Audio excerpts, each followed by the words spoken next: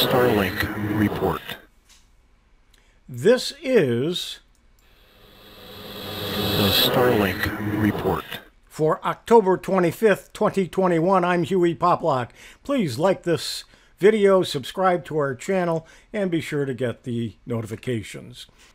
The first stack of Starlink satellites launched into space in more than two months lifted off from Vandenberg Space Force Station on September 14th.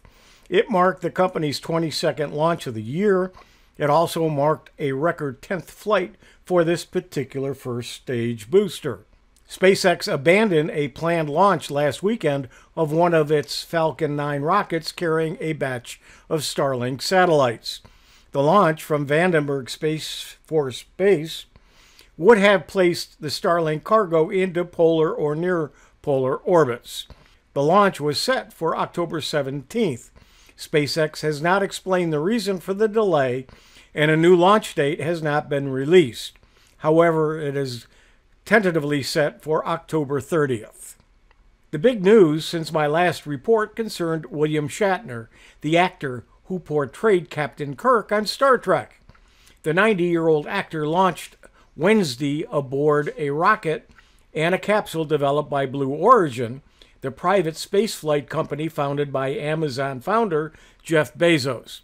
The historic joyride made Shatner the oldest person to reach space.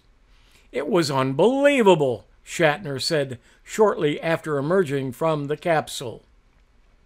Jeff Bezos' company also has a satellite internet system called Project Kuiper, which he plans to launch 3,236 service satellites in low Earth orbit. However, they have not yet begun to produce them. In Greece, Starlink internet service officials launched in Greece uh, will take place before the end of this month.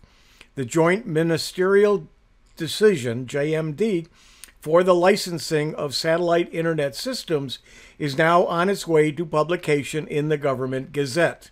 Essentially, the publication of the JMC will unlock the test mode for Starlink in Greece. This will allow a small group of users to use its internet services in the coming weeks. Then, in late November and early December 2021, the Starlink internet hardware will be sent to those who have pre ordered it.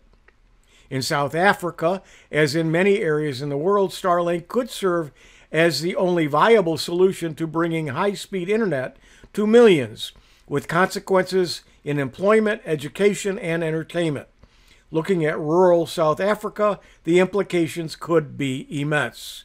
Internet connectivity options and speed within rural South Africa are much more limited than in urban environments.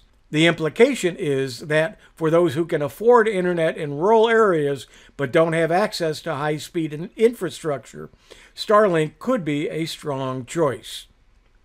In Chile, the Starlink uh, received the operating permit from Chilean's Telcom's regulator, the Department of Telecommunications, to operate five satellite ground stations, enabling the operator to launch commercial services on a national level. The company's main priority is to first provide broadband in rural communities where terrestrial internet service is unreliable and unavailable. Starlink currently serves over 100,000 users who reside in the United States, Canada, Chile, the United Kingdom, France, Australia, Netherlands, Ireland, Belgium, Switzerland, Denmark, Portugal, New Zealand, Australia, and Germany. Musk recently said that they plan to roll out Starlink service nationwide across the United States by the end of October. Note, still limited by peak number of users in the same area, he stated. This will improve as more satellites are launched. Meanwhile, in the U.S., many people who have reserved their dish and accounts have become frustrated that they have not yet received them. Some have even canceled their order. A survey of 500 people conducted by Review.org has indicated that over half of Americans, 51% to be exact, might switch to Starlink. SpaceX plans to work with airlines to provide Starlink Wi Fi on commercial flights. SpaceX's Starlink satellite broadband constellation will be capable of beaming internet service to passengers traveling aboard aircraft. We are talking to airlines about installing Starlink, SpaceX founder Elon Musk said Thursday. And that is our Starlink report for October 25th. The Starlink Report. Thanks for joining. I'm Hewie Poplock.